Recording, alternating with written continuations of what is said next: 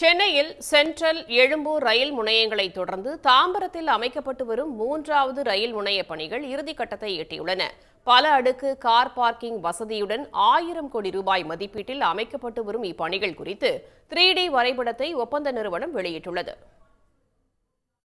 தலைநகர் சென்னையில் சென்ட்ரல் மற்றும் எழும்பூர் ரயில் முனையங்கள் ஏற்கனவே செயல்பட்டு வருகின்றன.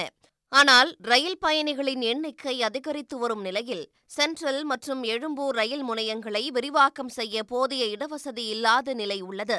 இந்த சூழலில் சென்னையில் மூன்றாவது முனையமாக தாம்பரத்தை அறிவிக்க வேண்டும் என்ற கோரிக்கை நீண்ட நாட்களாகவே இருந்து வந்தது. இதனை ஏற்று கடந்த ஏழு ஆண்டுகளுக்கு முன் தாம்பரத்தில் ரயில் முனையம் அமைக்கப்படும் என்று அறிவிக்கப்பட்டு அதற்கான பணிகள் நடைபெற்று வருகின்றன. இந்த பணிகள் தற்போது இறுதிக்கட்டத்தை நெருங்கியுள்ளது. இந்நிலையில் அடுத்த இருபது ஆண்டுகளில் தாம்பரம் ரயில் முனையத்தை எப்படியெல்லாம் மாற்றங்கள் செய்வது என்று திட்டமிட்டு அது குறித்த த்ரீ டி வரைபடம் வெளியிடப்பட்டுள்ளது.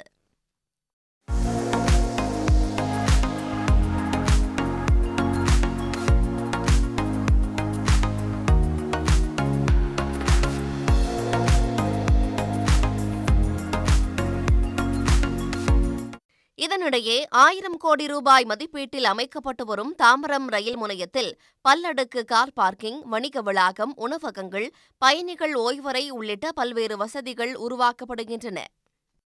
இப்போ தாம்பரம் மூன்றாவது முனையத்தில் இருக்கோம்.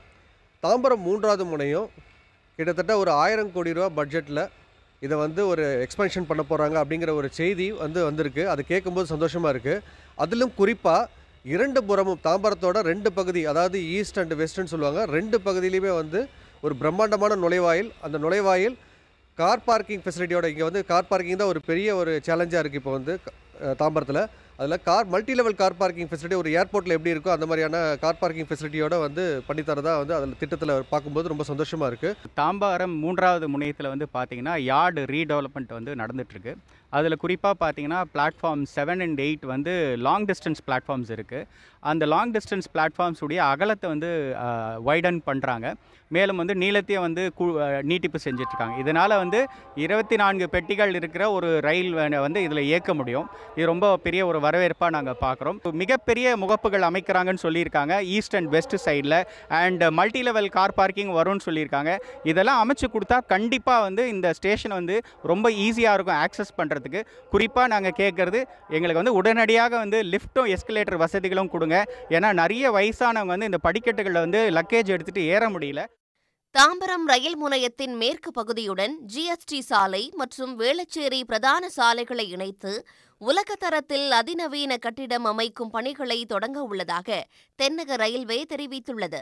தற்போது நடைபெறும் பணிகள் நிறைவு பெற்றால் ரயில்களின் வேகம் அதிகரிக்கும் என்றும் நேரம் குறைவாகும் என்றும் தெரிவித்துள்ள தெற்கு ரயில்வே விமான நிலையம் போன்று தோற்றத்துடன் தாம்பரம் முனையத்தை மூன்று ஆண்டுகளில் முடிக்கவும் திட்டமிட்டுள்ளது.